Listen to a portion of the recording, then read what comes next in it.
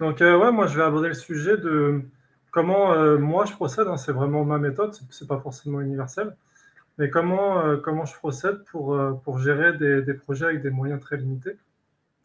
Et donc, entre parenthèses, période oblige pendant un confinement également.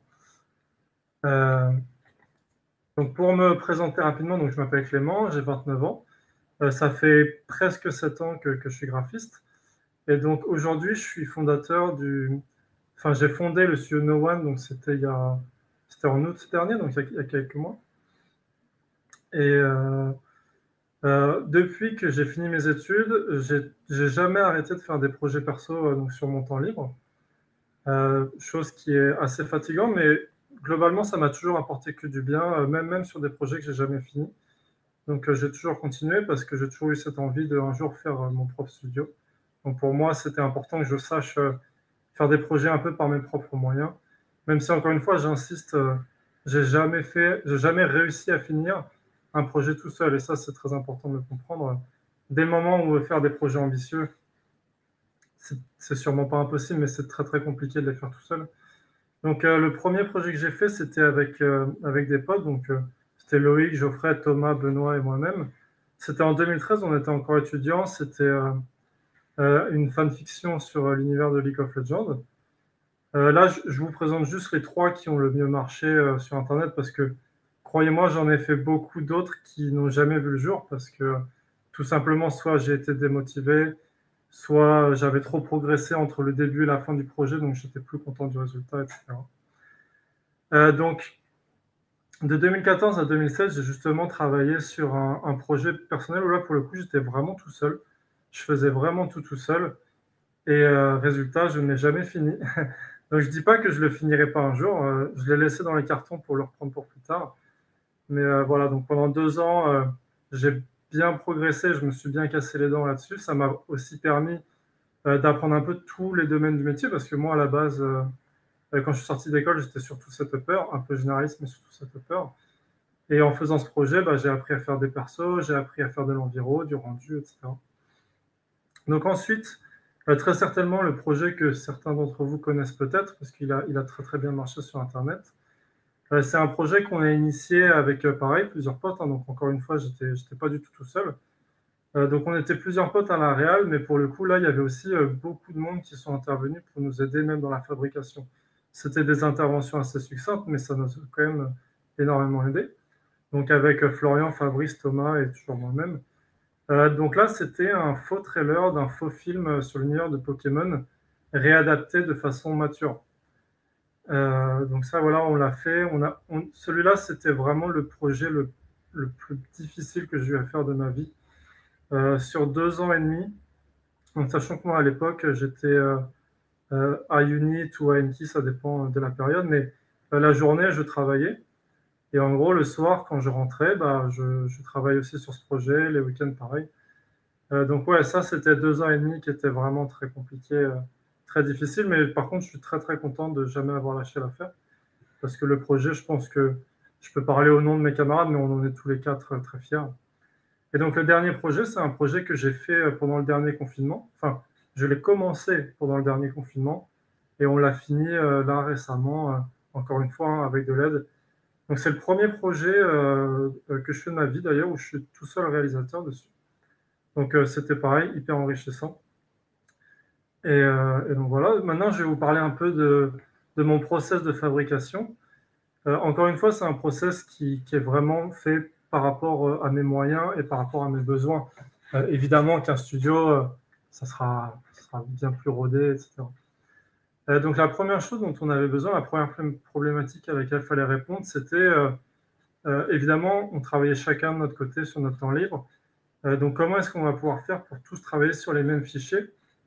Parce que ce qu'on voulait absolument éviter, c'était de, de devoir s'envoyer les fichiers les uns les autres, d'avoir chacun peut-être des versions différentes de chaque asset sur nos PC, etc. Et ça, c'est la porte ouverte aux erreurs d'inattention de « Ah merde, j'ai pas récupéré le dernier setup », etc. Euh, donc du coup, j'ai investi dans un serveur NAS. Euh, à l'époque, je ne sais plus, ça m'avait coûté euh, autour de 400 euros, quelque chose comme ça. Et donc ça, ça nous a permis déjà d'avoir tout le projet au même endroit sur le même serveur. auxquelles on pouvait y accéder à distance. Donc, il y en a qui n'avaient pas des connexions assez efficaces, ou même des fois la mienne qui hébergeait le serveur n'était pas assez efficace.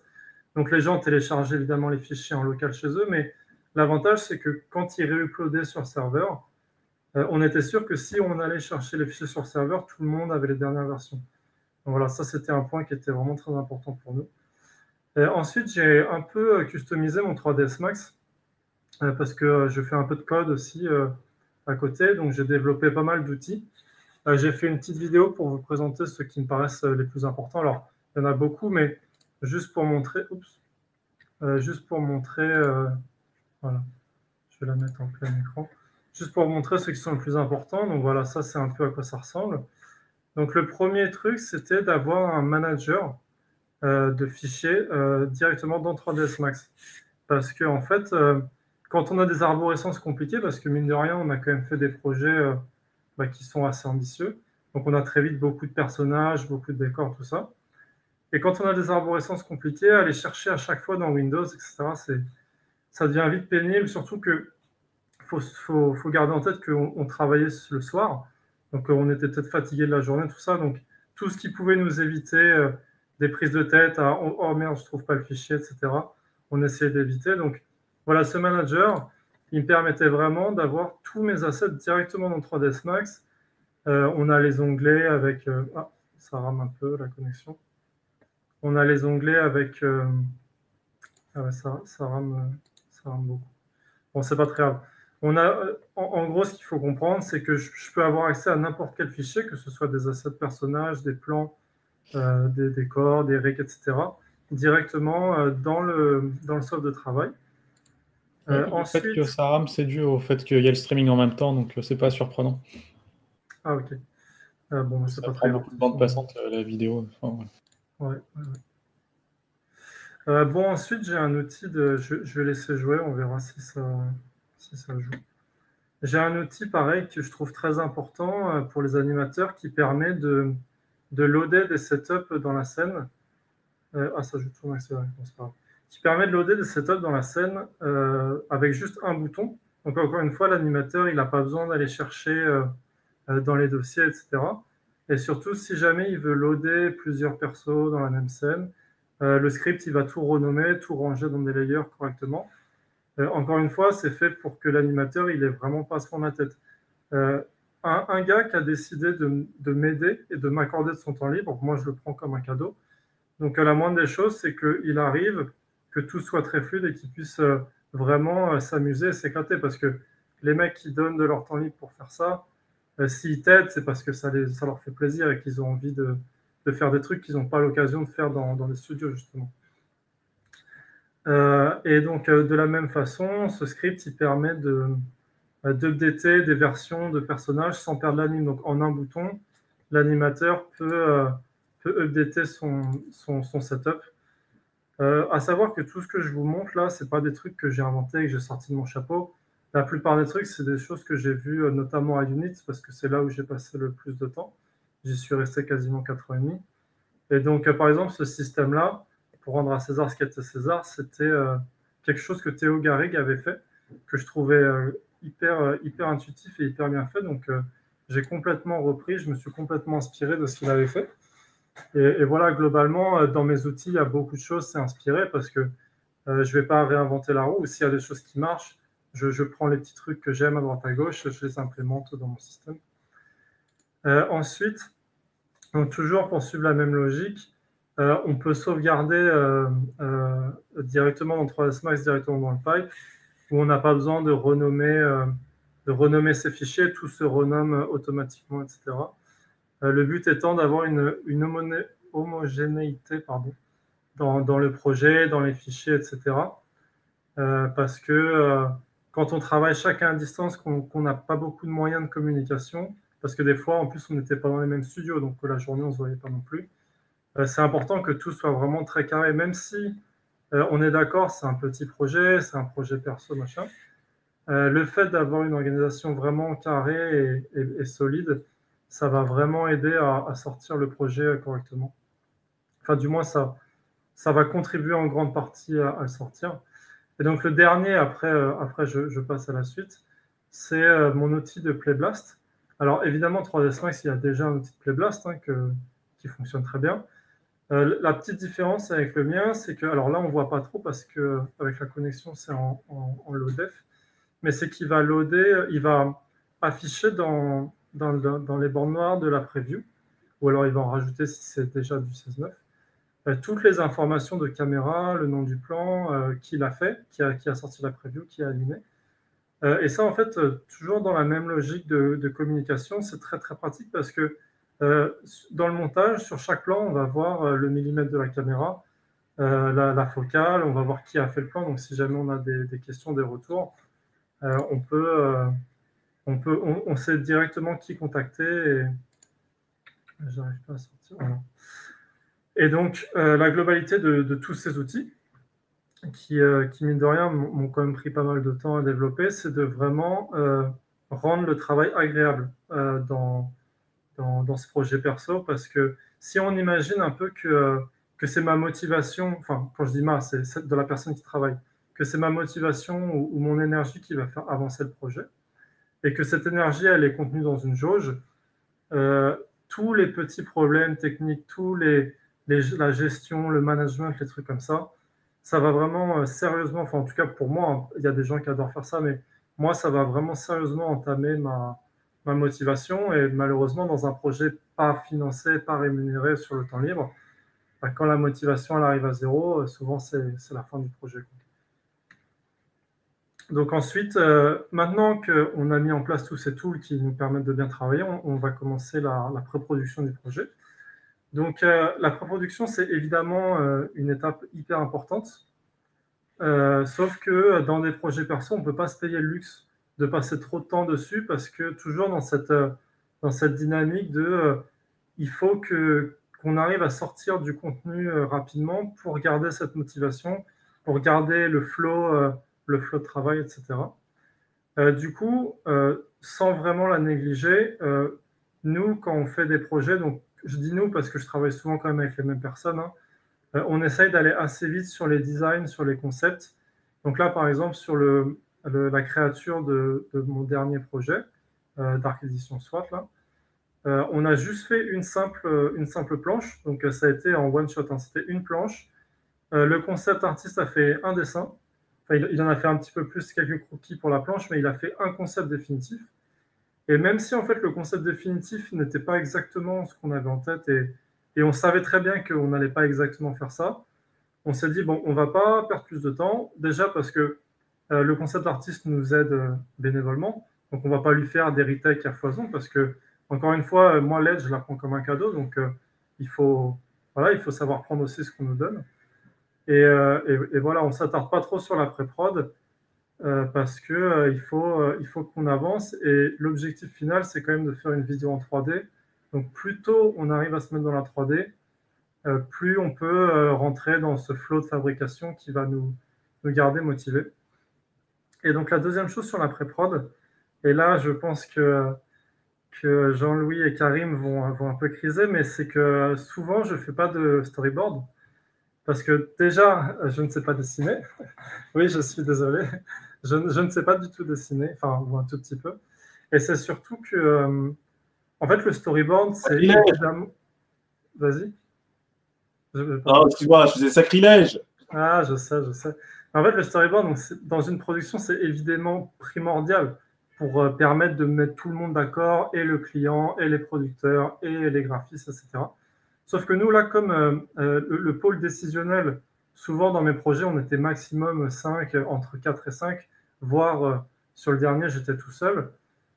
du coup, on, a peut-être moins besoin d'un storyboard pour tous avoir un peu la même vision. Et c'est surtout que ça nous fait gagner un temps précieux, en fait, de, entre guillemets, griller une étape, dans le sens où il faudrait trouver des gens qui savent le faire, et on n'a pas forcément des gens sous la main. ça prendrait aussi du temps, etc. Donc euh, voilà, souvent, quand, évidemment, quand j'ai le luxe de pouvoir le faire, on le fait. Oui, vas-y. Non, non, mais je veux dire, tu as, tout à fait raison. C'est-à-dire que là, s'il n'y a que toi qui partages la vision, tu ne vas pas te faire un storyboard pour te faire plaisir à toi-même, c'est évident.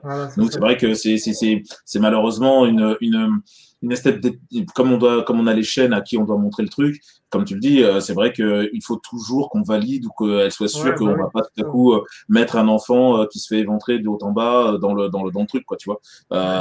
et, et, alors que si c'est ton projet, bon, bah, des fois, effectivement, c'est mieux. Mais voilà. Exactement. Donc, euh, ouais, c'est ça. Quand on a le luxe de, trouver un storyboarder qui est motivé, bah, évidemment qu'on va faire un storyboard. Mais si on ne peut pas, bon, bah, on, fait, on fait sans. Mais en tout cas, voilà, moi, je considère que dans, dans ce genre de projet, ce n'est pas indispensable. Mais par contre, à l'inverse, surtout si on n'a pas de storyboard, je considère que le layout 3D, pour le coup, est vraiment primordial. Euh, pour moi, c'est euh, vraiment le squelette du projet. Et, je sais que si mon layout 3D euh, fonctionne, parce que j'ai tendance à vraiment beaucoup les pousser, et pour le coup, les layouts 3D, je les fais souvent moi-même, euh, parce que ça me permet d'exprimer ma vision de réalisateur, et puis globalement, c'est quelque chose aussi que, j'aime bien. Euh, réalisateur amateur, hein, je ne suis pas professionnel là-dedans, mais, voilà. Et, donc, je suis sûr et certain que si mon layout 3D fonctionne bien, mon film, a priori, il n'a aucune raison de ne pas fonctionner. Donc, euh, pour en venir à ce fameux layout, pour, euh, avant de le commencer, il faut quand même mettre quelques, petites choses en place. Donc, euh, ce qu'on va faire, c'est, je ne vais pas vous apprendre comment on fait un film, je pense que tout le monde le sait, mais globalement, on va modéliser des caractères parce que ça m'arrive souvent de voir des layouts avec des fois, ça peut être même des box, des box qui vont juste signifier le volume d'un personnage et qui vont slider pour montrer un mouvement de caméra, etc. Mais moi, je considère que le layout, il doit vraiment être très très proche en fait, pour moi, le layout, c'est une version, le layout 3D, pardon, c'est une version low cost euh, du film final. Donc, c'est-à-dire euh, qu'il doit quand même avoir euh, les personnages avec les bonnes proportions, les environs avec, avec pareil, les, bons blueprints, la bonne taille. Et donc, ce qu'on fait, donc là, c'est mon pote Rémi qui a fait le perso. L'image, elle montre justement le perso layout à côté du personnage fini. Et donc, on peut voir que même si les shapes ont un tout petit peu changé, la silhouette a un tout petit peu changé, notamment sur les oreilles, les doigts, etc. Euh, globalement, on est resté très très proche du modèle euh, final. Et en fait, ça, ça me permet de. Les cams que je vais placer au, layout, quand je vais cadrer mon visage, euh, normalement, elles n'ont plus de raison de bouger en anime. Elles vont forcément un peu évoluer parce que l'anime, layout, elle ne sera pas définitive. Donc voilà. Mais globalement, on aura la même intention et le même mood. Euh, et, pour moi, c'est très important d'avoir des cams euh, qui, sont, euh, qui sont assez fixes du début à la fin, parce que sinon, même si un projet c'est vivant et qu'un projet c'est évolue, j'ai l'impression que j'ai vu trop de projets devenir moins bien avec le temps parce que les gens prenaient trop de liberté de changer trop de choses. Et du coup, le, le projet, il, obtenait une espèce de flottement. Ouais, vas-y, Karim. t'as pas ton micro, t'as pas ton micro. C'est bon, voilà, pardon. Ça, c'est super intéressant ce que tu montres. comment tu fais du coup pour toi Bon, tu as, tout dans la tête, à mon avis. Et comment tu fais pour le garder dans la tête? Pour pas euh, le perdre euh, euh, au, mesure? Au niveau des caméras, des designs des persos? Quand, quand, tu bosses sans storyboard, à mon avis, tu, tu l'as dans la tête. Toi, tu fais ce que tu veux. ouais. Et comment tu fais pour, pour, le garder en tête dans la même continuité? Bah, Franchement, je sais pas. Je sais pas. En fait, c'est bon. Ouais, après. Euh, bon, là, sur ce projet, j'étais réalisateur tout seul, donc j'avais vraiment, je sais pas pourquoi, mais j'avais le truc en tête, vraiment, je saurais pas. Que soit clair, c'est impressionnant. Et, là, quand, quand, tu fais tes téléhots, à quel niveau tu, tu, tu mets euh, de la précision? Pour, euh, pour donner le côté vivant et tout tu vas, bah, Justement, je vais, à tout à l'heure, là, sur la slide d'après, ou deux slides plus tard, je sais plus, je vais montrer deux exemples de layout.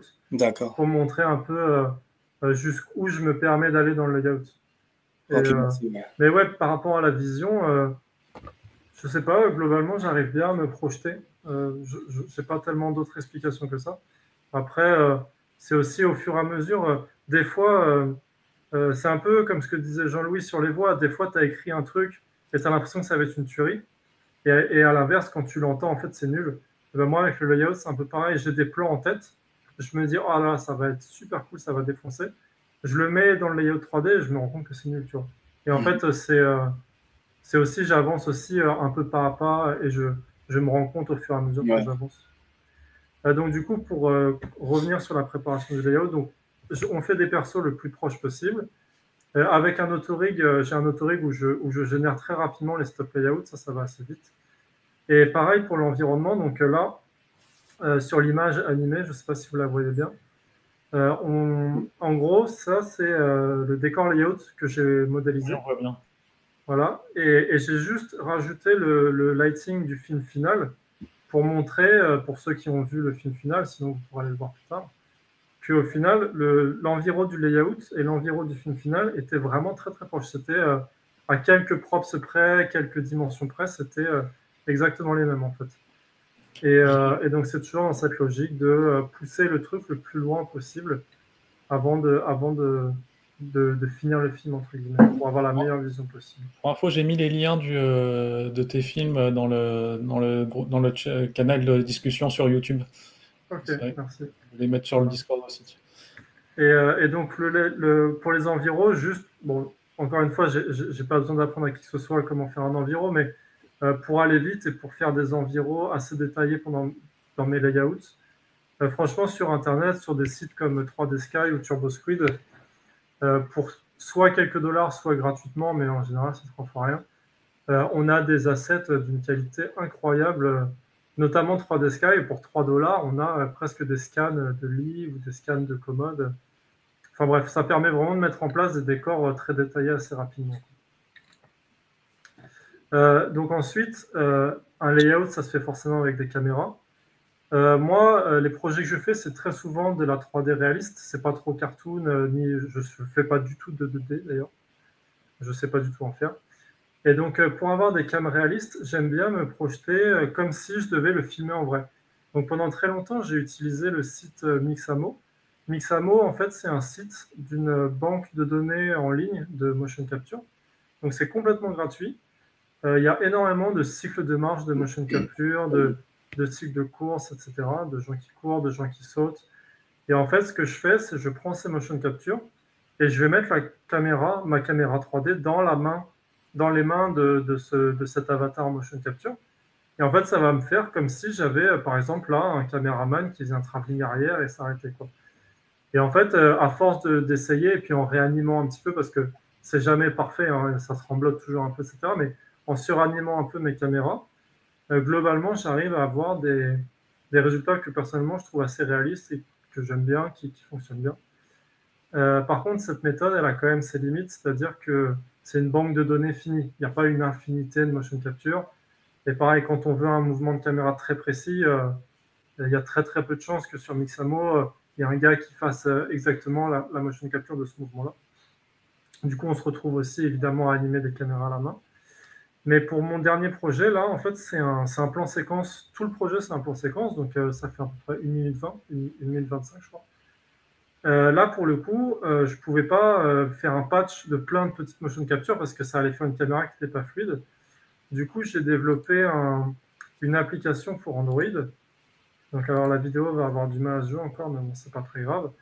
Donc, en fait, j'ai développé avec Unity sur ma tablette Android un système de tracking en, live qui me permet de filmer dans ma scène en 3D comme si j'y étais vraiment. C'est-à-dire que c'est comme si j'étais vraiment le caméraman dans la scène qui est en train de se jouer et je peux euh, du coup faire vraiment les mouvements de caméra que je veux. Alors la petite anecdote euh, par rapport à, ce projet, c'est donc, comme je vous l'ai dit au début, je l'ai fait pendant le confinement. Donc je ne pouvais pas sortir pour aller dans un grand hangar et avoir la place de bouger et de ne pas me prendre des meubles chez moi pour filmer comme je voulais. Du coup, ce que j'ai fait, c'est que l'appartement en 3D dans lequel se passe la vidéo, en fait, c'est exactement le même que le mien dans la vraie vie. J'ai vraiment repris les plans de mon appart et je l'ai 100% remodélisé en 3D. Du coup, ça m'a permis de, euh, si je me place euh, dans le monde 3D et dans le vrai monde au même endroit, donc là, on va le voir, je, je peux filmer et me balader dans mon appart en filmant l'action comme si j'y étais vraiment. Donc voilà, c'est assez marrant de se dire qu'au final, il y a il y a une intervention du SWAT dans un, dans un trafic de drogue qui se fait bah, dans mon appart. Donc là, voilà, là, je monte sur la vidéo. Là, je suis en train de filmer. Bon, la vidéo, elle lag un peu, mais c'est pas très grave. Je suis en train de filmer la scène euh, comme si j'étais dedans, alors qu'en vrai, je suis dans mon salon finalement. Là, le, gars dans la vidéo arrive dans la cuisine, moi, j'arrive dans ma cuisine. Enfin, voilà, c'est vraiment. Euh, C'est vraiment, c'était vraiment les mêmes dimensions. Et donc, à partir de ça, ensuite, je récupère la caméra et je la mets dans mon logiciel 3D, donc 3ds Max en l'occurrence. Et, et, pour le coup, j'étais hyper content de, ce, de, cette petite application parce que, enfin, après, chacun a son propre avis, mais globalement, je trouve que ça rendait vraiment vraiment bien. Ça faisait vraiment caméra au point qui suit les mecs dans l'action. Et, euh, j'étais hyper content on va dire, résultat. Donc maintenant, une fois qu'on a euh, et nos assets et notre méthode pour les caméras, on passe au, layout 3D. Donc je, le répète encore une fois, mais le layout pour moi, c'est vraiment ce qui va mettre le projet sur les rails. Euh, pour les animations des corps, j'utilise énormément Mixamo pour tout ce qui va être donné, enfin, à faire bouger les personnages dans le layout. Après, pareil, sur Mixamo, il n'y a pas tout, donc il y en a plein que j'anime à la main. Euh, je ne suis pas un très grand animateur, mais pour faire du layout, ça, suffit largement en général. Euh, sur, le, dernier projet, j'ai eu la chance de, pouvoir faire un partenariat avec Rococo. Donc Rococo, en fait, c'est une combinaison de motion capture euh, qu'on peut avoir chez soi. En fait, c'est un mini studio de motion capture, entre guillemets, portable, ou qu'on peut emmener n'importe où. Et donc, en fait, ça m'a permis, toujours de la même manière, comme j'étais dans le même appart, de jouer les mecs du SWAT et de les récupérer dans la scène 3D exactement au bon endroit, directement dans l'environ. Et donc, ça m'a permis de jouer tous mes gars du SWAT dans mon appart et après les filmer, etc. Donc, ça, pour le coup, c'était vraiment hyper cool. Alors, euh, Rococo, ça peut être un investissement. Hein. Il me semble qu'une combinaison, c'est 2500 euros. Donc, quand on fait des, budgets comme ça, euh, autofinancés, bah, c'est quand même beaucoup. Mais bon, voilà, moi j'ai eu la chance de l'avoir à moitié prix grâce au partenariat, donc, euh, euh, j'ai vraiment pu l'utiliser à fond et ça c'était vraiment cool. Et d'ailleurs je l'ai toujours. Et dernier petit détail sur le layout, alors je sais que beaucoup de gens le font, mais je sais aussi que beaucoup de gens ne le font pas. C'est mettre du son sur. moi je mets tout le temps systématiquement du son sur mes layouts parce que je trouve que le son en fait ça raconte autant que l'image, voire même des fois ça raconte plus. Dans certaines scènes très lentes, le son a une importance énorme. Euh, et, quand on fait des projets, bon, à la limite, quand on est tout seul, c'est un peu différent parce que, euh, je veux dire, on a le truc en tête et on a besoin de l'expliquer à personne. Mais quand on, surtout quand on est plusieurs réalisateurs, ce qui a été beaucoup mon cas hein, sur, euh, sur mes autres projets, bah, c'est hyper important que tout le monde ait la même vision de comment ça va sonner, quels sons il y aura sur quel anime, etc. Et, donc là, alors, je vais partager une vidéo YouTube. copie URL, si je me souviens, c'est euh, share YouTube vidéo, voilà, pour que vous puissiez voir euh, un peu à quoi ressemblent mes dégâts.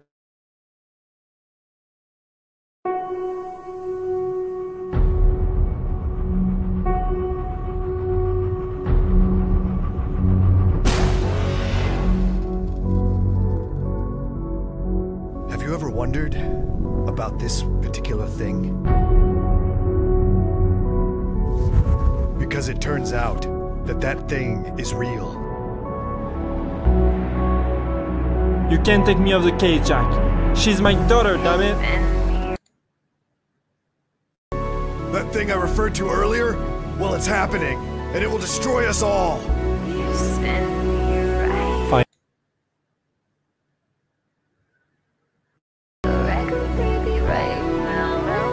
And that someone is you. Where is she? Tell me what you know! You didn't think it would be that easy, did you? Enfin voilà, donc ça c'était. Euh, je ne vais, pas, je pas vous le montrer en entier, hein, de toute façon, euh, vous irez voir le film si vous voulez le voir en entier, mais c'était juste pour montrer un peu euh, à quel niveau d'exigence on était sur, le layout. Et je vais juste vous montrer aussi celui de la, de la deuxième vidéo d'Arc Edition. Parce qu'il est un peu différent, du coup, comme j'avais la chance d'avoir pu faire la mocap avant, forcément le layout était un peu différent. Tac.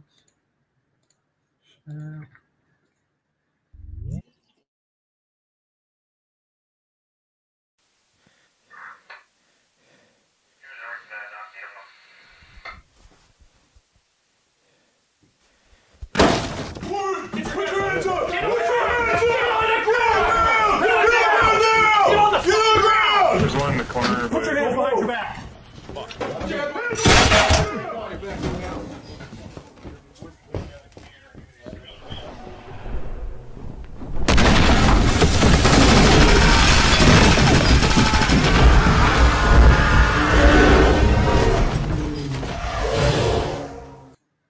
Là, c'est typiquement le genre de moment où le son, quand les personnages sortent de l'image et qu'il ne se passe plus rien, sans le son, c'est très très dur de se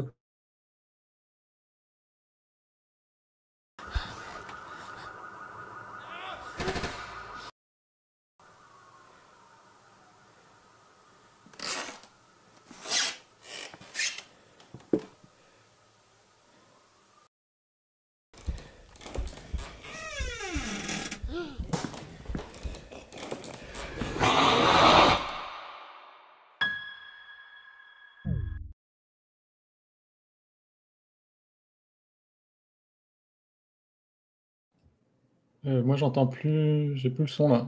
Je suis le seul. À ouais, moi aussi, j'avais plus le son. Là.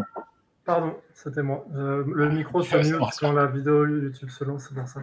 Donc voilà, ce que je venais de dire, c'est que ça, c'est la qualité que j'essaie de viser sur tous mes layouts. Et pour le bah, coup, euh, ça, c'est pas spécifique au projet perso. Euh, quand j'étais superviseur à Enki, euh, c'est également cette qualité-là que je visais parce que moi, je considère que si mon layout il est nickel, et qu'il est validé par un client, validé par euh, la terre entière, bah après, en fait, il n'y a plus qu'à dérouler le projet. Et donc, c'est ce, ce dont cette slide, elle parle. C'est que euh, une fois que le layout, il est, il est fait, c'est vraiment, euh, on n'a plus que la partie, entre guillemets, fun à faire. Et donc, sur un projet perso, c'est encore plus important. C'est là où il reste plus qu'à monter la qualité des persos, monter la qualité des animes. Oui, vas-y. ouais. Est-ce que tu peux remettre ton écran en plein écran, comme tu avais fait avant euh, mon écran en plein écran ah, je sais enfin, je crois que tu avais fait partage d'écran, je sais Attends, je vais. Oui, il était en écran, en plein écran. Que chez moi, pardon. Là, c'est bon ah, Là, c'est bon, ouais. Ok, cool. Donc euh, voilà, là, euh, on arrive dans la partie cool du projet où c'est vraiment, on va faire des persos plus beaux. On va updater donc l'animation, les rigs évidemment, l'animation. Euh, on va faire de la post-anime. Alors, euh, je sais qu'à Unit, ils en font beaucoup. Je sais que des studios n'en font pas du tout. Euh, moi, clairement, je suis complètement derrière cette méthode de post-anime. J'aime beaucoup. parce que parfois, sur un setup, on n'a pas envie de passer trois semaines dessus pour faire un setup d'un perso qu'on verra pas beaucoup dans un, dans un, projet ou dans une vidéo. Du coup, je vais avoir tendance à me dire, je préfère aller vite sur le setup pour que les animateurs puissent vite faire leur travail. Euh, et comme ça, ça leur laisse plus de temps, donc ils peuvent le faire mieux. Et après, en post-anime, on va venir resculpter un peu par-dessus le personnage pour, euh, bah, pour un peu corriger. Par exemple, si un poignet, il, a un peu pété, etc. Euh, pour illustrer ça, sur, le, sur le projet Pokémon, le trailer, j'avais fait un setup musculaire. Donc, cette petite vidéo, encore une fois, bon, la qualité n'est pas terrible, mais, mais la vidéo, on peut la trouver sur Internet, hein, de toute façon. Euh, cette vidéo, en fait, elle montre euh, les setups musculaires que je fais. Donc, je ne les fais pas sur tous les projets parce que c'est quand même un process qui est assez lourd. Mais disons que ça me permet vraiment d'avoir des, formations euh, très réalistes sur mes persos. Et donc, même si mon perso, il a des vêtements, les simulations de vêtements n'en seront que plus réalistes par-dessus. Donc voilà, ça c'était un petit test avec une anime un peu folle pour tester, pour tester le perso. Et donc ça, c'est la couche de graisse qui est projeté sur les muscles, donc les muscles qui ont de la dynamique, etc. Et qui me permet vraiment euh, ensuite voilà, de simuler le close avec Marvelous. Et en tout cas, moi, euh, j'étais hyper content du, du résultat. Et, euh, donc voilà. Ça, c'était juste pour faire une petite parenthèse un peu sur mes setups, parce que c'est un peu mon, mon domaine de cœur à la base. Je, fais setup là. Et donc finalement, pareil, l'enviro, c'est la même chose. On va juste updater l'enviro, updater les shaders, faire poser le lighting, etc. Mais encore une fois, ça, c'est vraiment la partie fun, c'est la partie un peu créative où on va un peu chercher les ambiances, etc. Et donc, euh, sur un projet perso comme ça, c'est quand on arrive à, cette, à ce moment-là, clairement, on a fait le plus dur. Et le projet, il a quasiment 100% de chance de terminer, sauf si vraiment il y a un gros problème. Mais, mais voilà, on voit vraiment le bout du tunnel. Et euh, donc finalement, une fois qu'on a validé les animes, euh, valider les persos, les environs, le lighting, bah, on n'a plus qu'à finir le projet. Euh, donc là, on touche vraiment au but. Hein. On fait les FX sur l'anime et puis dans les environs. Euh, on, fait les, on calcule les images, évidemment, et puis on fait le compo grading. Bon, ça, j'ai rien à apprendre à personne parce que clairement, moi, je suis pas très compétent là-dedans. Mais, ah oui, c'est juste au niveau du rendu. ça, c'est une vraie problématique quand on fait des projets comme ça en petits groupes chez soi, c'est que, par exemple, sur certains des projets, sur le trailer de Pokémon, on avait des plans qui étaient à 4 heures l'image. Et quand à 2 minutes 20 euh, à 4 heures l'image, bon, tout le film n'était pas à 4 heures, mais euh, clairement, c'était hyper long. Et donc, en fait, dans tous les projets euh, que j'ai pu faire depuis que j'ai fini les études, tous les projets perso, j'entends, on est passé par trois méthodes. La première, sur le, sur le trailer de League of Legends, ça a été de démarcher des studios. Parce qu'en fait, il y a plein de studios qui ont des render farms et qui, des fois, n'ont juste pas de projet ou juste pas de calcul en cours. Donc, euh, on avait euh, fini par contacter le studio Banana qui avait accepté en fait de nous prêter sa render farm, euh, ce qui était hyper cool d'ailleurs parce que ça nous avait vraiment enlevé une grosse épine du pied. Et donc, on avait pu faire les rendus chez, les rendus chez eux. Donc voilà, franchement, il ne faut pas hésiter à demander au studio. des fois, il y en a qui n'ont aucun problème à t'aider à faire les rendus. Donc ça, c'était super cool et, donc merci beaucoup à Digital Banana pour ça. La deuxième méthode, c'est bah, la méthode un peu brute force, hein, c'est le rendre soi-même. Donc c'est ce qu'on a fait pour le projet Pokémon justement. Euh, après, euh, sur ce projet, c'était moins gênant parce que on n'était pas pressé en fait. On n'avait pas de deadline précise, on n'avait pas de clients. Enfin, voilà, on, on, était juste euh, un groupe de passionnés qui faisaient leurs films. Donc on n'était pas tellement pressé. J'ai aucune idée du, du nombre d'heures de calcul que ça a pris parce qu'on l'a réparti sur sur presque un an, en fait, tous les calculs, vu que dès qu'un plan était fini, bah, on le lançait pendant qu'on en faisait un autre. Mais ouais, ça, ça a vraiment été très très long. Au final, on, a fait tout le rendu du film sur euh, quatre machines différentes. Et donc la dernière méthode, qui est évidemment la plus confortable, mais qui est aussi la plus chère, c'est de passer par des, fermes en ligne, des, des render farms en ligne. Donc euh, pour le dernier projet, nous, on est passé par euh, Range Computing. donc c'est assez cher, enfin c'est assez cher. C'est pour, pour euh, un, projet autofinancé comme ça, ça représente un investissement.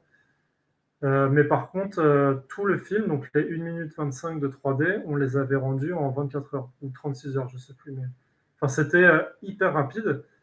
Et, et puis, c'est pas pour. Enfin, j'ai pas de partenariat avec Ranch, hein, mais personnellement, je trouve leur système hyper, hyper bien fait. En fait, c'est hyper facile il y a un bouton dans 3ds Max, tu cliques dessus, ça t'envoie le rendu sur la farm. Euh, deux heures après, tu as les images de ton plan. Enfin, non, c'est franchement, c'est hyper bien. Que, bah, euh, la musique, c'est 50%. Ah ouais, ouais moi je suis d'accord. 50%. Là, nous, on a fait, on a fait euh, bah, le Lirock, la dernière fois que j'ai fait, c'est une série musicale. Et forcément, tu peux pas, ah, bah tu peux pas ah, bah bosser sans, sans, musique. C'est clair. clair. Ouais, du coup, ça avait coupé, donc on est revenu. Euh, donc, ce que je disais, ouais, c'était que voilà, les, fermes en ligne, c'est très confortable, mais forcément, c'est un prix. Hein. De toute façon, on a, honnêtement, on n'a rien sans rien. Hein. Ça paraît assez logique. Euh, donc voilà, a priori, là, euh, on a fini le projet, on est censé être content. Il n'y a plus qu'à le montrer au monde entier et, à profiter parce que normalement, quand on arrive à ce moment-là, on est quand même bien, bien fatigué. C'est encore une fois, on, faisait ça pendant qu'on avait un travail à côté, le soir, le week-end. Donc, ouais, c'est assez fatigant. Et donc justement, je tenais à remercier euh, depuis ces sept ans là où je fais des projets perso tout le temps, tout le temps, tout le temps.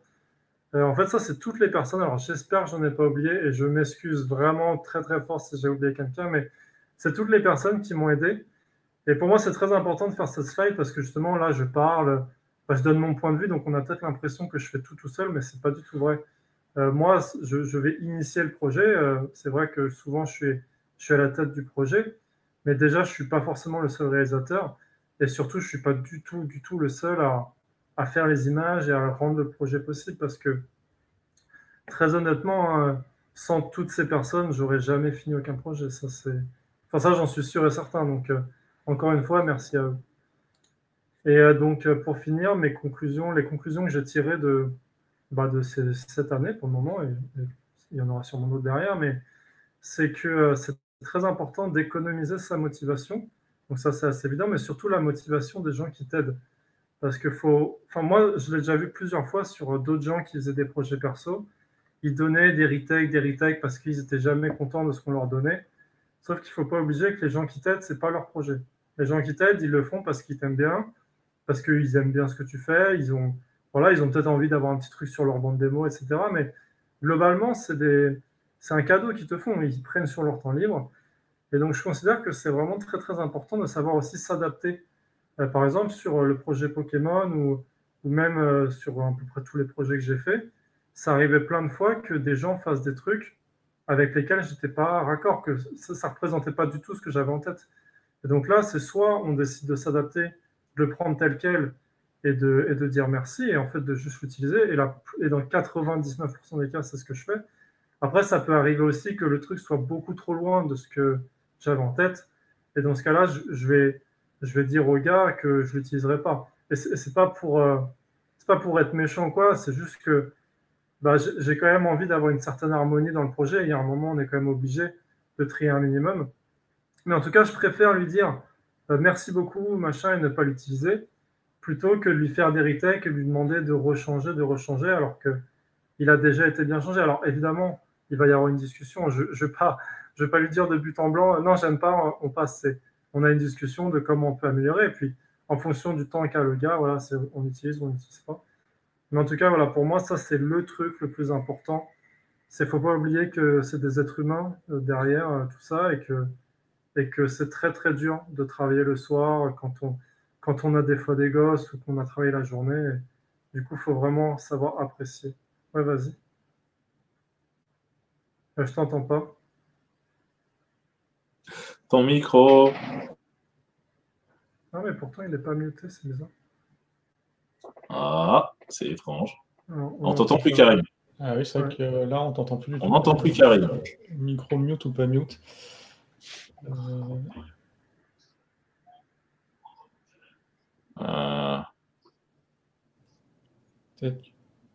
Non. non. on n'entend pas. Hein, on n'entend pas. Tu nous entends, toi? euh, Si tu peux écrire. Euh, ou sinon, essaye de recharger la page, de, enfin, de rejoindre le, le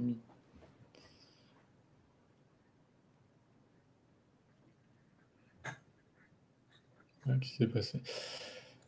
Euh, alors en attendant, euh, il y avait une question. Euh, alors c'est un peu lié à ce que tu viens de, ce dont tu viens de parler, mais mhm. il y avait une question qui était comment peut-on garder la motivation, l'énergie de faire un projet perso à côté de son travail? Bah justement, en fait, c'est ce que je disais, c'est que c'est très très dur. Et, et donc je comprends ta question. Il y a beaucoup de gens souvent qui sont très surpris comment vous avez gardé la motivation pendant deux ans et demi euh, sur ce projet. Et donc, euh, pour garder la motivation, c'est un peu avec tout ce que j'ai dit, c'est euh, avoir un bon espace de travail, donc c'est-à-dire un pipeline qui te tous les petits problèmes techniques, les petits machins comme ça, ça va, ça va déjà te les alléger. Et puis après, alors quand tu es tout seul, c'est un peu différent. il faut, faut, ça se joue un peu au mental aussi. Mais tu vois, quand on était en groupe sur le projet Pokémon, donc qui était très très long, très ambitieux, euh, ça arrivait plein de fois hein, que, que ce soit moi ou que ce soit Flo, Fabrice, Thomas, tout ça, que des fois on ait envie de baisser les bras. Et heureusement qu'on a un groupe parce que les autres, ils vont te remotiver, machin, tu vois. Donc c'est aussi ça la force du groupe. C'est faire des projets perso euh, en solitaire, c'est aussi plus dur à ce niveau-là, au niveau de la motivation. Ça, marche le micro là Ouais. Ouais, ça marche. C'est bon? Je vais te demander comment tu organises euh, ton temps de travail, comme tu fais ça le soir et week-end. Est-ce que tu faisais le, fameux 15 euh, minutes, 15 minutes euh, par jour, le fameux quart d'heure minimum, ou alors c'était aléatoire? Non, non, c'était 3 heures, 2 minutes, C'était plutôt 4 heures par soir, des fois c'était 8 heures le soir. En fait, et je pense que des gens qui étaient à Unit s'en souviendront un peu, mais des fois j'arrivais, j'avais l'air d'un zombie le matin au travail, clairement. Mais ah Après, c'est aussi, euh, je sais pas, c'est une personnalité. Euh. Alors, en fait, tu as des gens, quand ils rentrent le soir, ils vont, je sais pas, regarder des séries ou jouer à des jeux vidéo. Et ben, moi, je fais ça, en fait. Ça s'appelle la passion. ça s'appelle la passion, tout simplement. Ouais, voilà, c'est ça. Mais pour moi, en tout cas, c'est pas plus pénible de faire un court métrage en 3D que de jouer à un jeu vidéo. Enfin, tu vois, en fait, euh, je, je prends mon pied. juste là où ça devient vraiment pénible, c'est quand tu as des problèmes techniques ou que tu as des trucs de management à gérer qui sont un peu pénibles. Et c'est pour ça que j'ai développé et que j'ai pris le temps de développer tous ces outils avant. Euh, est-ce que tu t'es fait un, planning, euh, un auto-planning tout seul? Tu, tu faisais euh, vraiment un, petit calendrier, machin, pour, pour, pour, que, pour, le projet. Pour te cadrer, quoi Ouais, non, non, pas vraiment. Pour le projet Pokémon Dark Edition, on avait quand même un, un Google Doc avec les assets, les étapes qu'il fallait faire et tout, parce qu'à l'époque, on ne connaissait pas Kitsu, malheureusement. Mais pour le coup, Kitsu, là, il aurait été mortel pour ce projet. Mais du coup, bon, on passait par Google Docs, ça marchait aussi. Hein. Ça permet de savoir un peu, OK, qui en est où, qui a fait quoi, etc. Mm. Mais sinon, on ne s'imposait pas de rythme de travail. Euh, je sais que dans le groupe, euh, tu as des mois où, euh, où tu en as qui travaillaient plus que d'autres et c'était pas grave, tu vois. C'était, encore une fois, c'est tout, toute l'avancée que peut donner quelqu'un va être bonne à prendre. Mais on va pas aller on va pas aller s'énerver contre quelqu'un parce qu'il n'a pas eu le temps de travailler. Tu vois, ça reste avant tout un plaisir de te faire cette projet. génial, c'est bien. Et euh, moi, j'aurais une question. À quel moment, si c'est arrivé, hein, parce que peut-être ce n'est pas arrivé, à quel moment le projet, tu as senti qu'il commençait à patiner un petit peu? C'est parce qu'il y a, je crois hein, quand même qu'il y a toujours un moment donné, tu, commences et puis tu es là, ouais, c'est mortel, allez, oh, c'est génial, on monte ça. Puis à un moment donné, tu l'impression de revoir la même chose ou qu'il n'y a pas eu suffisamment d'incrémentation sur le projet, etc. Avant que ça ne redémarre, en fait. Ouais, ouais, je vois ce que tu veux dire. Alors, euh, autant pour le projet euh, Pokémon, euh, pour projet d'acquisition SWAT, il n'y a pas trop eu ça parce qu'au final, ça allait assez vite. Tout s'est fait assez vite. Hein. Finalement, j'ai commencé au dernier confinement et puis on l'a sorti en octobre dernier. Là. Donc globalement, le projet allait assez vite et j'ai pas trop eu le temps de me lasser, entre guillemets. Sur le projet Pokémon, ça a été un peu, un peu compliqué. en fait, je ne saurais pas trop dire. Je pense que ce qui a fait que ça a patiné, c'est pas tant qu'on se soit lassé du projet ou quoi, ça a été plus les problèmes humains, euh, dans le sens où, euh, où on avait du mal à se mettre d'accord sur certaines décisions à des moments. Euh. et le truc, c'est qu'on était tous, en fait, on s'était tous tellement investis dans le projet qu'arrivé à un moment, ça devient dur de lâcher un peu prise sur, sur l'idée que tu as en tête, tu vois ce que je veux dire? Donc je pense que ouais, ça a patiné un peu plus sur ce niveau-là. C'est deux personnes ont des avis un peu différents euh, on est tellement focus dedans qu'on ne veut pas lâcher le truc. Donc, il y a des petites euh, frictions, forcément. Après, euh, bon, c'est comme partout, hein. même dans le métier, il y a des frictions avec des gens. Ça ne nous a pas empêché de finir le projet et de rester des potes sans problème. Donc, donc ouais, je pense que le moment de patinage dont tu parles, ça a plus été sur des choses comme ça. Mais, mais un peu moins sur le fait de s'être lassé parce que même le projet Pokémon Dark Edition, euh, si tu regardes le layout final qu'on avait validé et le projet final, il y a plein plein de plans qu'on a enlevés parce qu'on avait juste plus l'énergie et on a dû remonter, recharcuter. Donc euh, le projet, il a quand même évolué, tu vois, visuellement et on ne s'est pas trop trop lassé. ça allait. Alors, pour euh, évidemment, pour euh, je, rebondis là-dessus, c'est parce que euh, je suis pas là pour essayer de trouver forcément. Euh, alors, c'était dur, hein, t'as souffert. Non, c'est pas, c'est pas l'idée. Ah, c'était vraiment parce que parce que il y a toujours. C'est pour les gens qui, qui nous écoutent aussi, c'est que c'est vrai qu'il y a dans un projet et même là, que ce soit en réalisation ou même dans une supervision, quand tu es sur 50 épisodes, 20 ou 30 épisodes, mhm. il y a toujours un moment donné où tu vois, tu commences à te dire, ah bah, ah bah non, mais c'est clair. Ça se fout, quoi. Et, euh, et, ça, il faut en être conscient. C'est-à-dire que quoi qu'il arrive, euh, encore une fois, je parle pour ceux qui écoutent, il euh, faut être conscient que c'est normal, en vrai. C'est ah normal et ça arrive à tout le monde.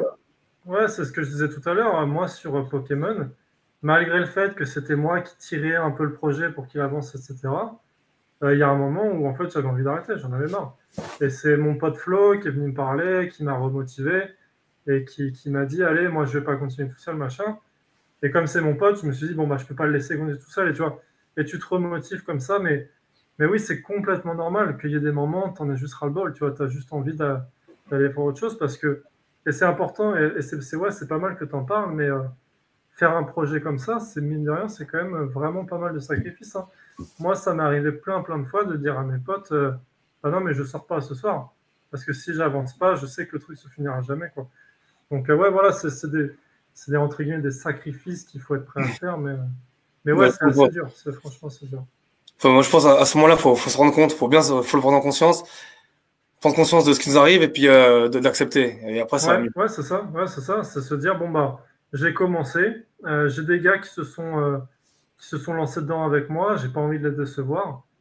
Donc euh, maintenant, j'assume et je vais jusqu'au bout. Quoi. C'est, exactement ce que tu dis. Ouais, ouais. c'est une, une, espèce de responsabilité bah, outre le fait de euh, j'ai eu un contrat, parce que pour le coup, vous n'en aviez pas, euh, mais qu'il y a un contrat moral en fait. Il y a un contrat moral Tu n'as pas envie de se voir les gens avec qui. Euh, parce qu'en plus, pareil, tu vois là sur Pokémon, vous, pourrez regarder le générique, mais il y a quand même beaucoup de noms au générique. tous les gens qui m'ont gentiment fait des modelings, qui nous ont gentiment fait des animes ou des trucs comme ça, bah, ça, fait, ça fait vraiment chier de leur dire bah, tout le taf que tu as fait, finalement, on va jamais l'utiliser, tu vois. C'est vraiment dommage. Donc, ouais, ouais, non, c'est ça, c'est vraiment une espèce de contrat assez moral.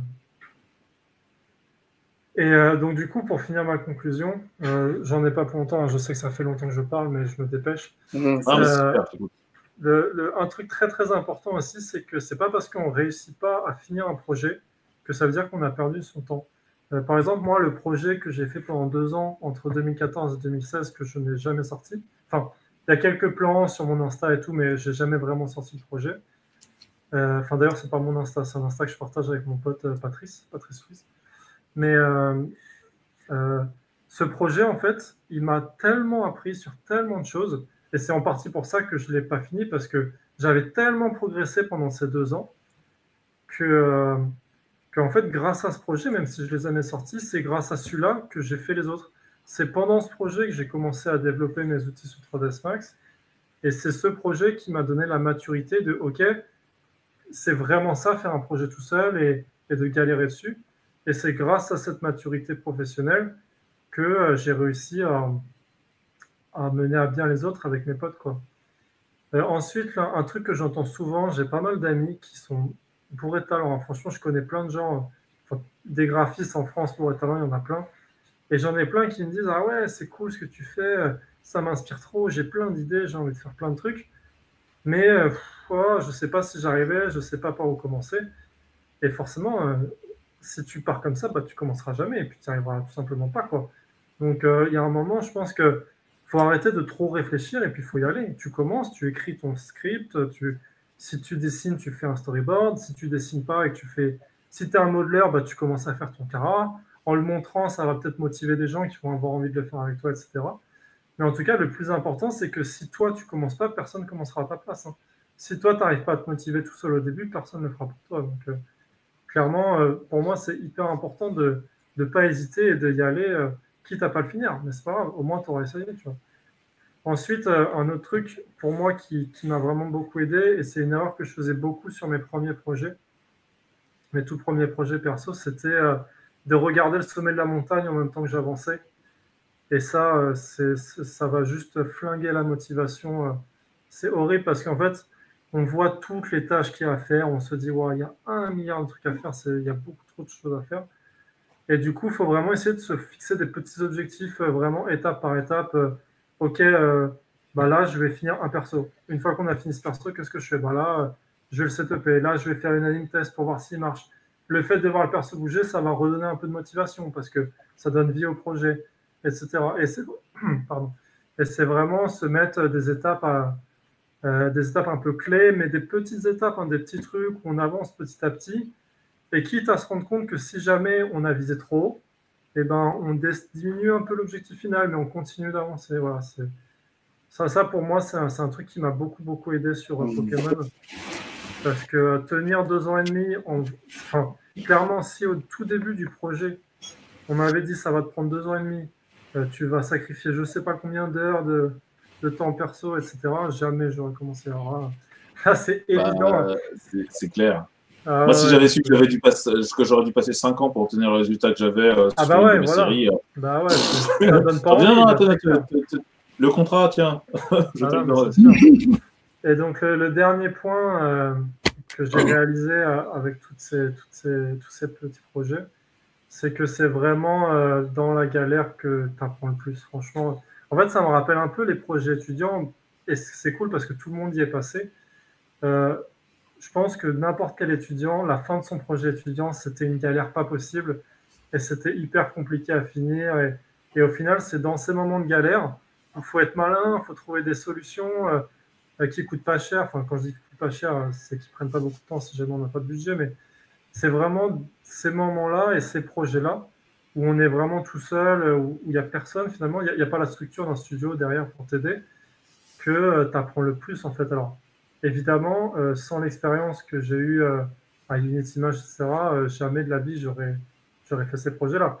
Mais ce que je veux dire, c'est que ces projets-là et cette galère, tu apprends une espèce de maturité et tu apprends aussi le côté humain, tu vois, ça, ça t'apprend beaucoup à gérer l'humain. Euh, parce qu'encore une fois, on ne fait pas de projet tout seul. Et donc voilà. Euh. Donc merci beaucoup de m'avoir écouté. J'étais un peu long, je suis désolé, mais j'espère que c'était intéressant. Bravo, c'est cool.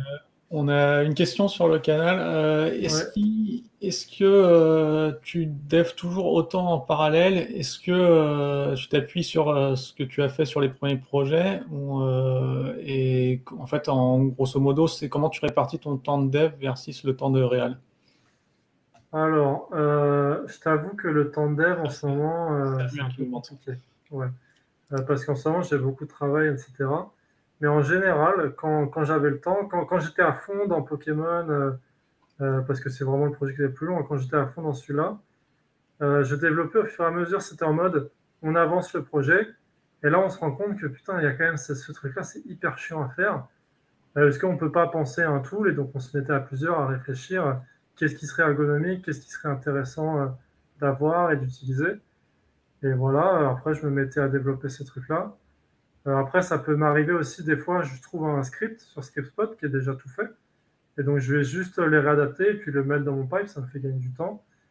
Et euh, finalement, euh, ce que je disais tout à l'heure avec l'exemple de Théo, Théo, donc c'est un, c'est un setupper incroyablement doué et un très très bon développeur qui travaille à Unity justement. Et je me suis beaucoup beaucoup inspiré de sa logique de dev parce que parce que je la trouve super forte, en fait, je le trouve super bon. Et, justement, euh, quand on voit des mecs meilleurs que soi, je pense que c'est très intelligent de, s'en inspirer.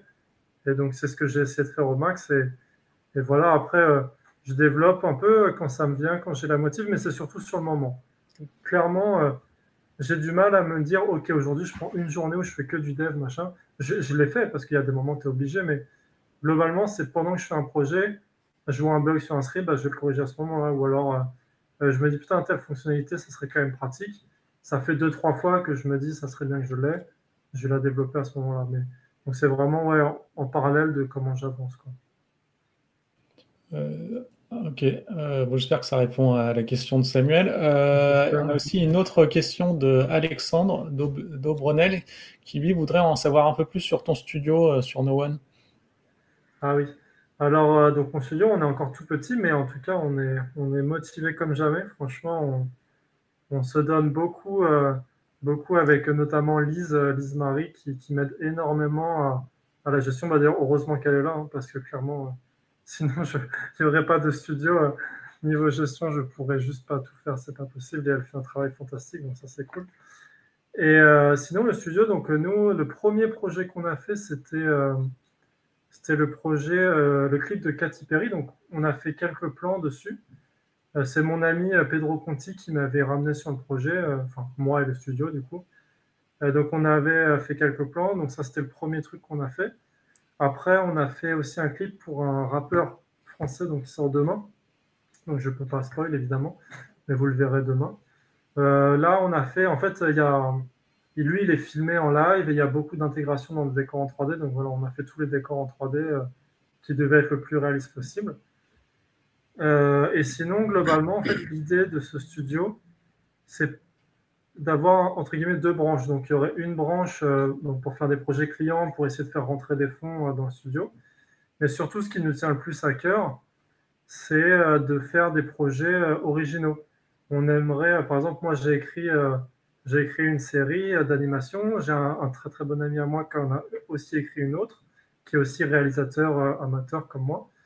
Et donc voilà, c'est des séries qu'on aimerait énormément financer, euh, euh, bah, qu'on aimerait, je sais pas, je parle de Netflix, mais ça peut être des chaînes de TV. Je ne connais pas encore trop ce milieu, mais, voilà, c'est des séries qu'on aimerait faire voir le jour pour, pour avoir un peu des séries françaises, enfin franco, ouais, françaises, pas francophones parce qu'on aime bien travailler en anglais mais euh, des, séries fabriquées par des Français parce que bah, il y, en a, mais par rapport au marché américain, il n'y en a quand même pas beaucoup. Et donc voilà, on, a vraiment cette, passion et cette motivation de, créer nos propres projets. Et donc pour, euh, revenir sur, le projet dont tu parlais tout à l'heure avec le Kickstarter, euh, là on a, on a essayé de lancer un Kickstarter, enfin on a lancé un Kickstarter pour un projet qui s'appelle Muted. Et donc Muted, c'est une espèce de, de dérivé de Dark Edition où en gros, on essaie de mélanger un peu cet univers un peu très sombre de Pokémon avec le concept Black Mirror mélangé avec Love, Death and Robot de Netflix, où en gros, le concept de cette série, c'est de, c'est de, comment je peux expliquer, de faire des métaphores sur notre monde pour euh, remettre en, lumière un peu des faits sur les animaux qui sont, euh, qui sont un peu mis de côté. C'est-à-dire que notre mode de vie actuel humain, forcément, il a des répercussions sur, euh, sur notre monde.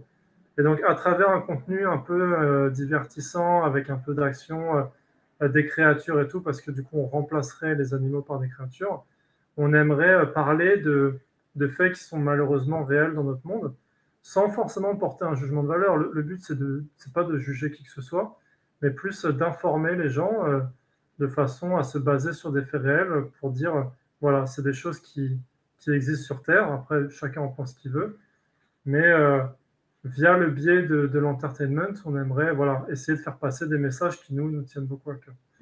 Donc voilà, le, studio globalement, pour le moment, c'est un peu ça.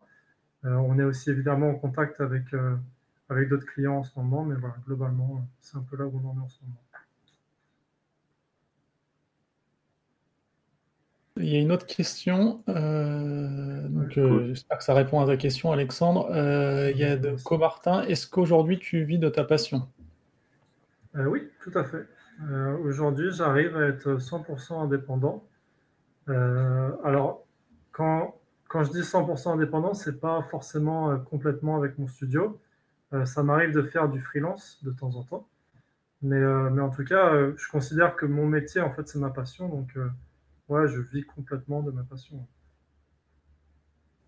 Ok, top. voilà, j'espère que Martin, ça répond aussi. Bah, Alexandre nous dit merci, donc c'est bon. Euh, là, on a fait le tour des questions. Est-ce qu'il y a d'autres gens qui ont des questions? Euh, Donc, nous, on va attendre avec le décalage, mais euh, voilà, c'est le moment pour les poser sur le, sur le canal YouTube, éventuellement sur le Discord. Je ne rien sur le Discord, donc là, on va attendre un peu. Là, il y a des clap-clap, c'est sympa. bah voilà, je crois qu'on arrive un peu au bout. Bon, je pense qu'on a une On n'a pas prévu que ça soit aussi long, hein, mais euh, c'était vraiment super. Ouais, je suis désolé, hein, mais même moi, j'avais dit à Gwen, ça va faire 30 minutes max. Euh, ah, mais je le savais, j'en étais sûr.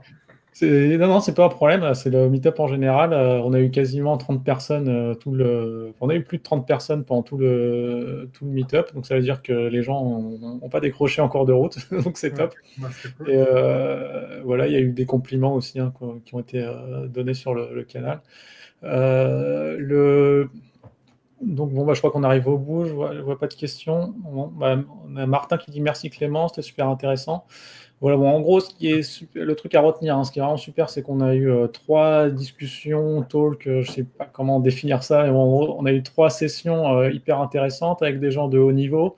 Euh, on sait globalement, euh, enfin voilà, je trouvais ça, même moi qui suis pas graphiste, euh, j'ai tout suivi avec beaucoup d'intérêt et vraiment c'était top. Donc bah, un grand merci à tous les speakers qui étaient là, donc Karim, Jean-Louis, Clément. Peut-être que vous avez un mot de la fin, je sais pas.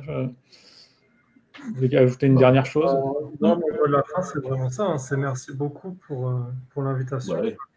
Moi, j'adore votre philosophie de toute façon du partage.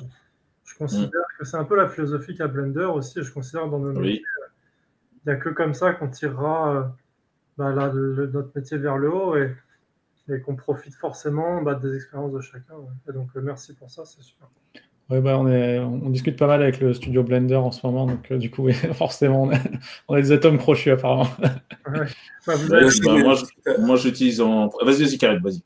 Pardon, non, ce que tout à l'heure pour le côté, le, le, le, mimétisme, avoir euh, quelqu'un, euh, genre un maître, un héros qu'on aime, qu'on aimerait devenir, et puis euh, avoir s'en inspirer tout le temps, constamment, ça, ça tire vers le haut tout le temps, la motivation évidemment. L'humanisme, c'est très important dans, dans, dans, nos métiers. Ouais. Et puis, bah, de toute façon, là, on l'a vu avec euh, bah, le temps et puis les, toutes les explications que, que nous a faites Clément. Euh, euh, puis même moi, quand, quand je parle, c'est la passion qui parle. C'est vrai qu'à ce moment-là, tu peux pas t'arrêter.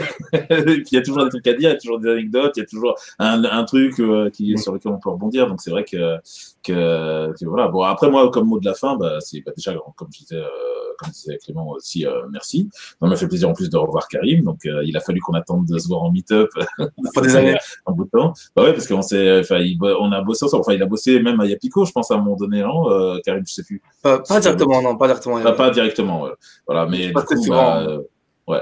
Du coup, euh, bah, voilà, c'est des, gens qui, euh, qui, ont travaillé après à travers le monde et puis euh, qui s'apprêtent, comme Clément, à travailler aussi euh, à travers le monde. Et puis c'est super intéressant de, se, bah, de, voir effectivement la, la, possibilité de pouvoir partager un peu bah, nos expériences et puis les choses qu'on a envie de faire ou qu'on a fait d'ailleurs. Donc ça, c'est vraiment cool. Quoi. Voilà. Et bon courage à tous ceux qui nous écoutent aussi, euh, bah, qui ont, peut-être envie d'avoir ce même, euh, ce même parcours, ou en tout cas faire comme Clément, ou comme Karim, ou comme, ou comme moi éventuellement. Euh, c'est clair que ça, j'espère qu'ils ont appris des choses. Et puis si jamais ils veulent en savoir un peu plus, bah voilà, que ce soit sur nos studios respectifs, toi c'est No One, c'est ça, ton studio, voilà. Moi, le, le mon, studio perso, euh, bah, c'est c'est euh, c'est euh, Yapico Animation. Donc vous pourrez aller sur le site, voilà. Et puis bah et puis Karim, bah toi tu voilà tu tu irradies un peu l'animation un peu partout. Et voilà, bah, ça, ça, vous, vous vous inspirer pour faire des projets, pour commencer des choses. Voilà. C'est cool. Parce que ça, ça se nourrit évidemment. Hein. Là, ah, évidemment. ça se nourrit les uns les autres et puis ouais. c'est parfait, c'est cool. Gwen, est-ce que tu as un mot à nous dire Gwen. Je suis désolée pour les deux coupures qu'il y a eu. Voilà. bah, c'était beau. Hey, rebonjour. Rebonsoir plutôt. Caroline sur la, vidéo. Donc euh, Caroline hein, qui euh, sera un contact privilégié pour tout ce qui est question de communauté, si vous voulez euh, savoir bah, comment bah, pas soit contribuer au meetup, soit intervenir en tant que speaker, soit proposer un sponsoring ou évidemment bah, tout ce qui a trait à notre logiciel. On n'a pas beaucoup parlé de notre logiciel. C'est vrai que d'habitude, on fait un encart publicitaire. Là, on l'a pas fait, mais Kitsu, c'est un super outil de collaboration qui vous permet du coup de, bah, gérer vos prods. Beaucoup plus facilement parce que tout le monde se met d'accord à travers un, outil où tout le monde bah, met là où on en est, là où il en est, et les, graphistes disent, disent, là où ils en sont, les réalisateurs peuvent déposer leur retech et les, euh, bah, les chargés de prod peuvent suivre tout ce qui se passe, du coup anticiper les problèmes plus facilement. Euh, donc voilà, donc ça c'est un logiciel libre, c'est aussi pour ça qu'on est en, pas mal en lien avec le studio Blender et, euh, enfin avec la fondation Blender pardon. Et, donc il y a aussi vous pouvez donc contribuer à ce logiciel et là aussi bah, Caroline sera contente de pouvoir vous aider, vous renvoyer vers les bons pointeurs pour pour ça. donc oui, donc Gwen, tu voulais donner un dernier mot peut-être? Parce que... Non, je trouve ça plutôt bien. C'est une bonne, euh, un bon tour de table parce qu'on a quand même eu euh, du coup de la pure anime 2D avec Karim, 2D, 3D euh, et réalisation avec Jean-Louis et du coup Clément qui a fait 3D réalisation. Donc ouais, exactement. C'est les, tout s'est mélangé en fait du coup, ce qui était, ce qui était plutôt bien. Et je pense que c'est la première fois qu'on a autant d'interactions entre les speakers, ce qui est plutôt, qui était plutôt sympa, j'ai trouvé.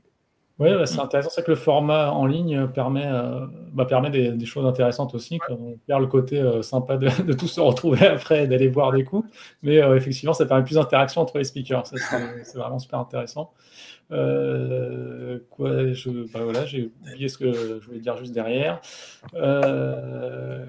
oui, alors c'est ça, c'est que Gwen, peut-être pour ceux qui ne la connaissent pas, évidemment, elle a organisé le, organiser une meet-up. Elle a une grosse expérience en direction de production aussi, mais euh, surtout chez nous, elle est product manager. Donc, si vous avez des questions sur Kitsu, sur comment vous en servir, ou comment aborder le démarrage, euh, n'hésitez pas à la contacter, euh, gwen at cgwire.com, et elle sera super contente de vous aider.